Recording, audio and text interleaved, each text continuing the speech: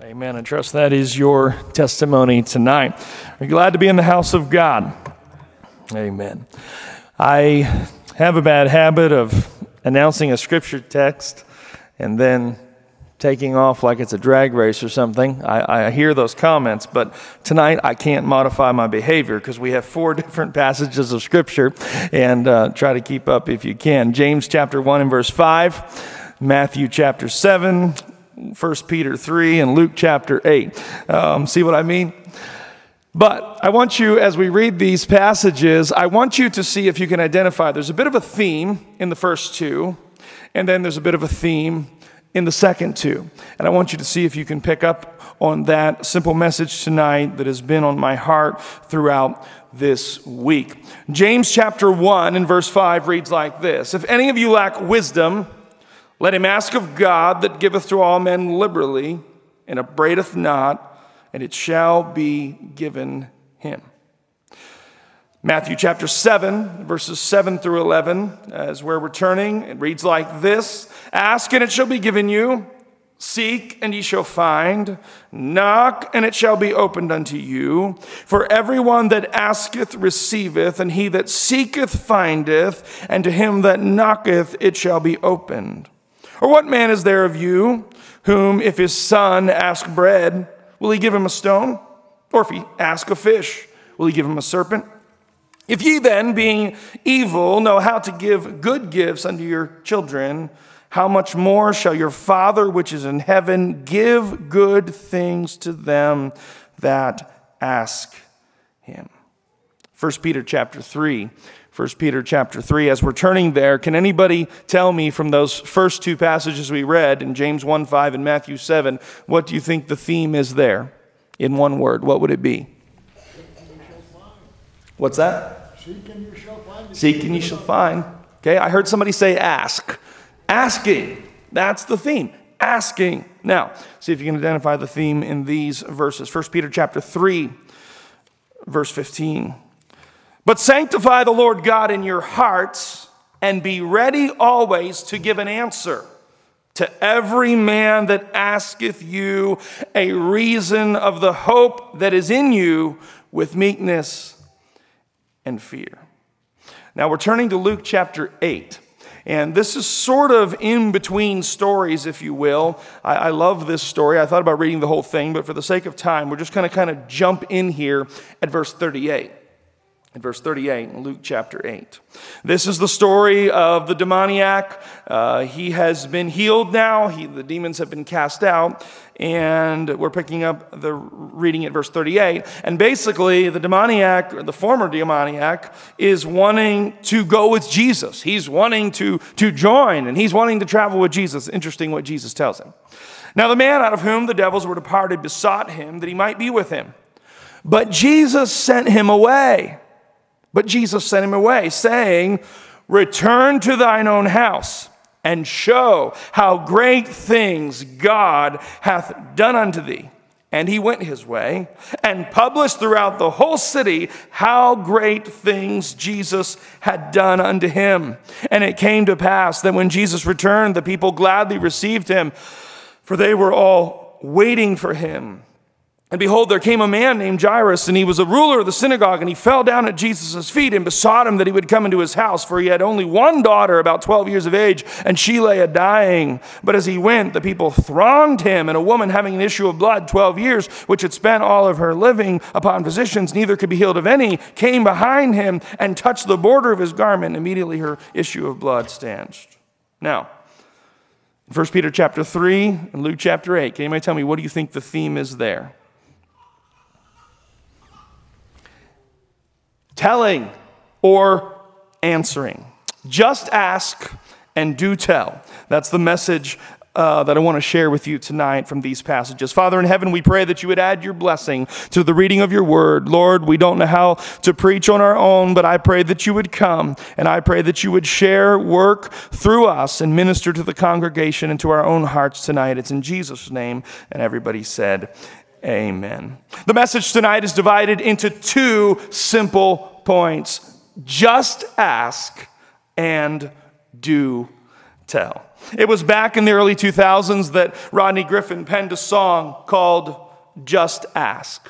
The words to that song go like this Alone in the darkness, you're wondering, is Jesus still listening to me? Is he truly aware of my suffering? And is this the way it always will be?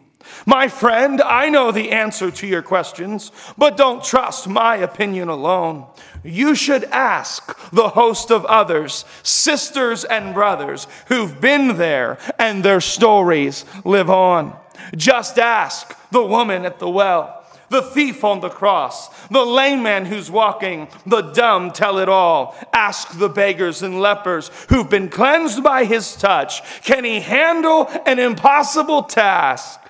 They'll know the answer. Just ask. So let's do that tonight for a few moments. She's back at the well. When I say the well, I mean the well, the place where it all happened. You see, that day was just another day for her. It was a day of discouragement and defeat. A day when she tried to wear a smile, but it wasn't real. She attempted to act like everything was okay, but it was just an act. Come to think of it, her entire life was just an act. She pretended to be in love. She convinced herself that she was loved, but she knew deep down she had been used and she had used. That day when she traveled with her water pot, it was as if she was stuck in time. The signs of sin were wearing on her. The sound of her footsteps on the path seemed to echo in the empty chambers of her soul. Each step was symbolic. It was plodding. It was monotonous. Day in and day out, empty. But today, she retraces that very same path, and she does so with joy. Each step has purpose, and the song of her soul is full and free.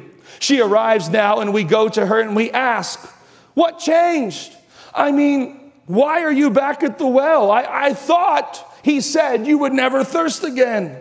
She smiles. I, I have never thirsted again. Well, then, ma'am, why are you at the well? Oh, this water? Of course we need this water. But he wasn't talking about that.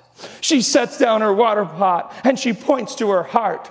The deep thirst of my soul has been quenched. I am satisfied. All my life long I had panted for a drink from some cool spring that I hoped would quench the burning of the thirst I felt within. Hallelujah, I have found him, whom, not what, my soul so long had craved. Jesus satisfies my longings, and by his blood, I now am saved.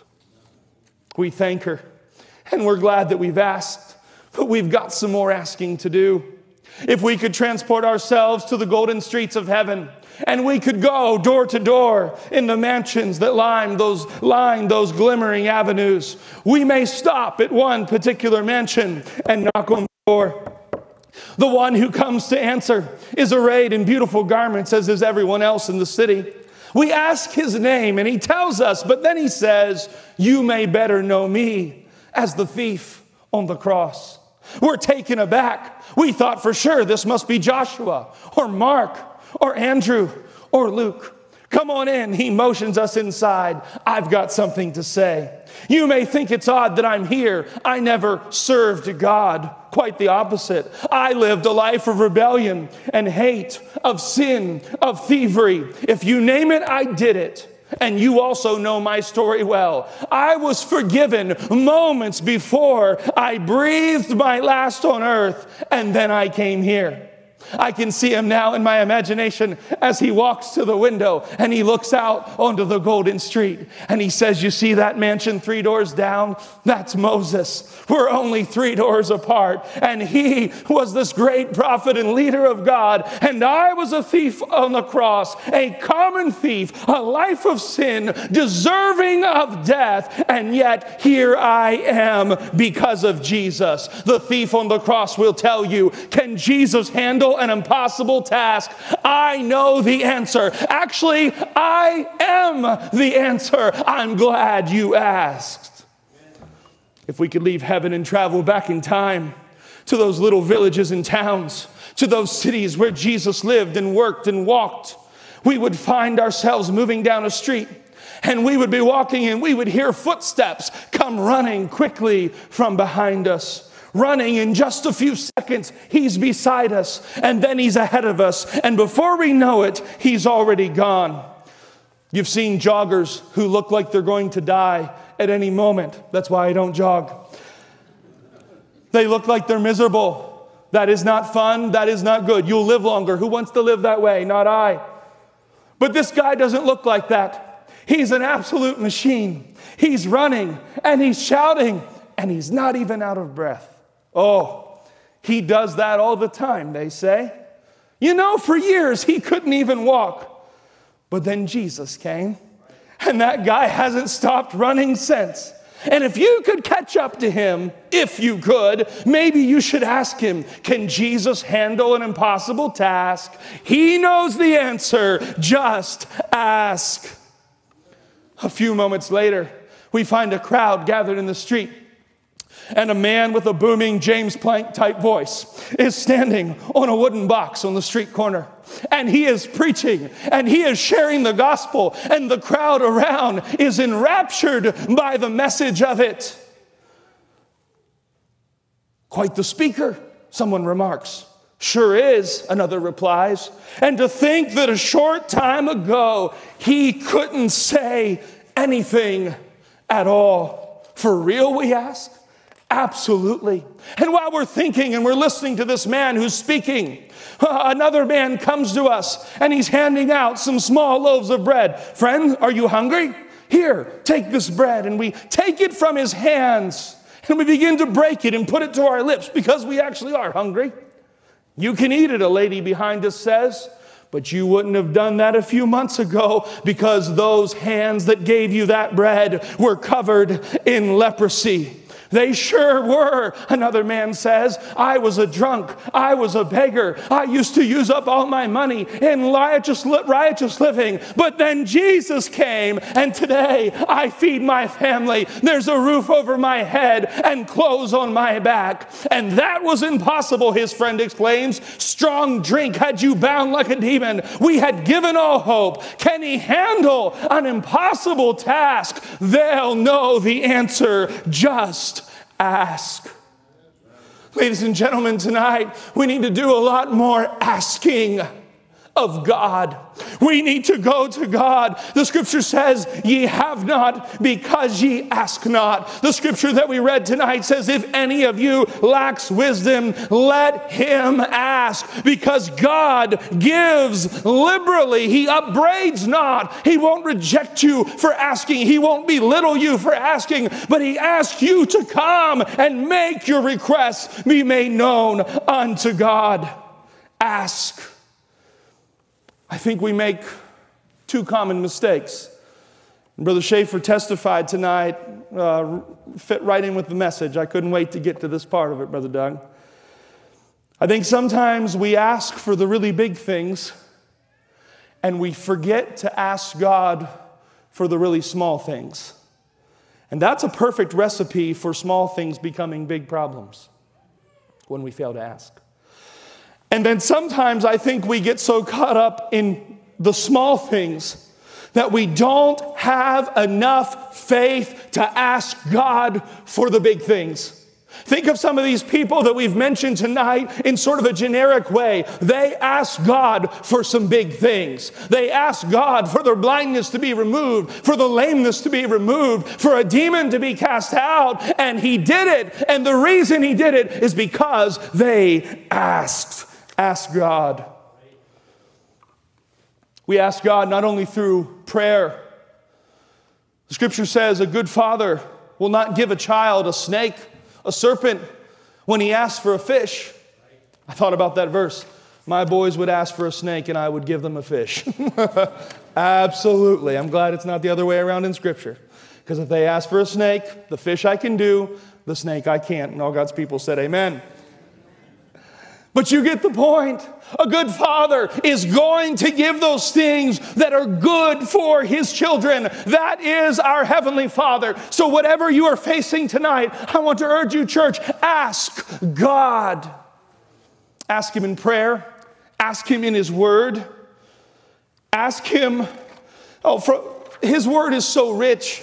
His word is so rich. The wisdom of the Proverbs, the detailed description of the Old Testament law, the miracles of the Gospels, the veiled warnings of the prophecies, all of it is given by inspiration and is profitable for doctrine, for correction, for reproof, for instruction in righteousness.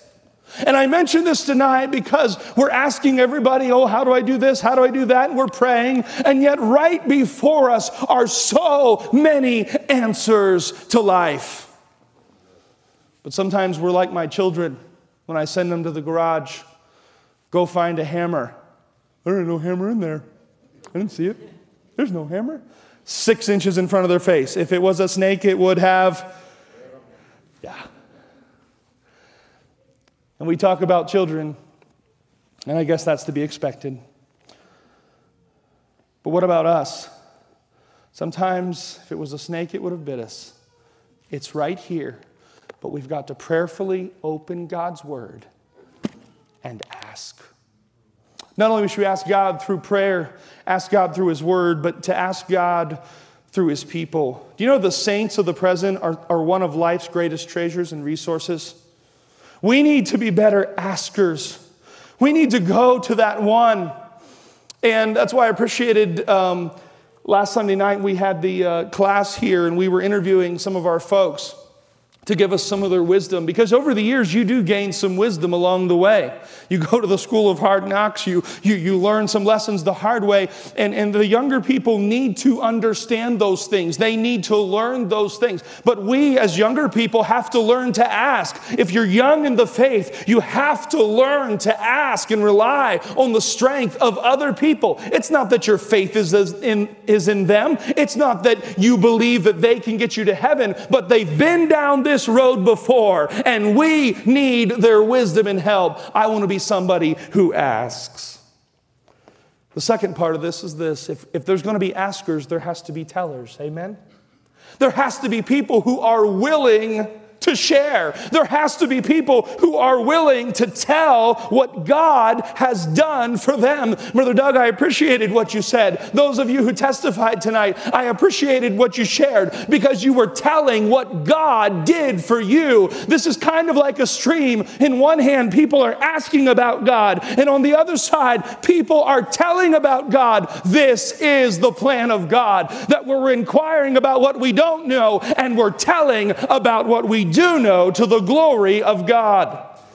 I find it interesting that in Luke chapter 8, which we read tonight, that little excerpt, I find it interesting that he sends the demoniac home. He sends him home and says, Tell your house. And we see what the scripture says there. He was telling, and get the idea, he was telling absolutely everybody that he knew. He published it through the whole city. And yet, you can see that shortly after there, Jairus comes. Shortly after there, uh, the woman with the issue of blood comes. I don't know that he told them directly, but he began to make known that God was doing something. Sinners would get more excited about God if the saints were more excited about God. Sinners would be more likely to pray if the saints were more happy about testifying about what God has done in their lives.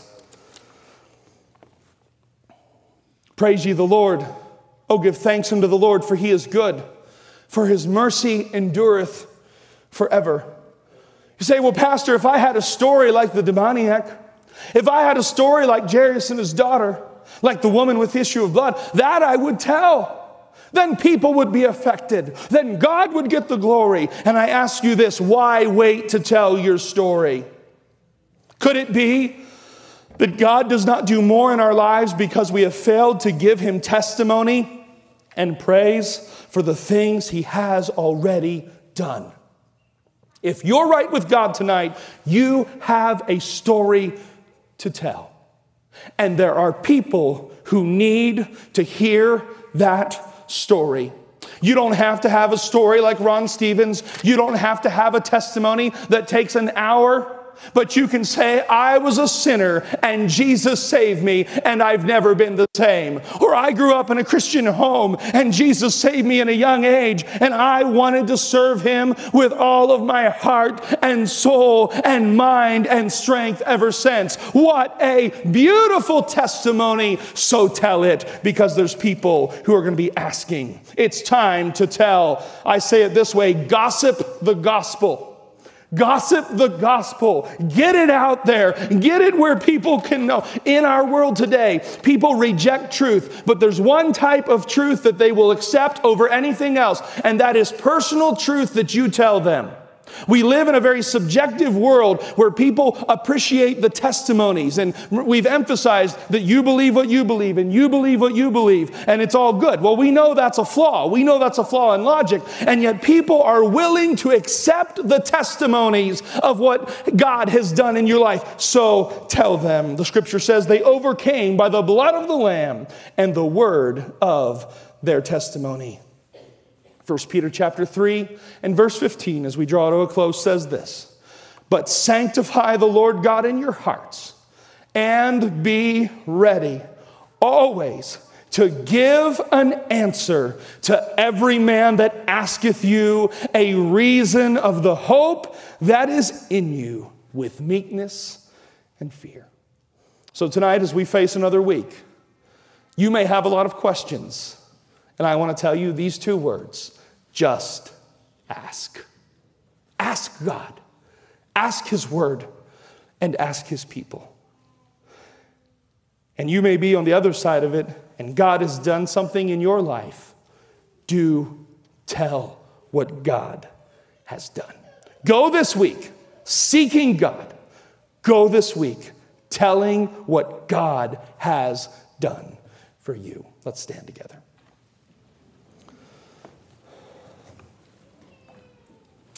Father in heaven, I pray that you would help us to be continually seeking your face, in faith to be asking, in faith to be seeking. There's so much we don't know, but we come to you for our needs, and you draw us to yourself, and we know that you have the answers.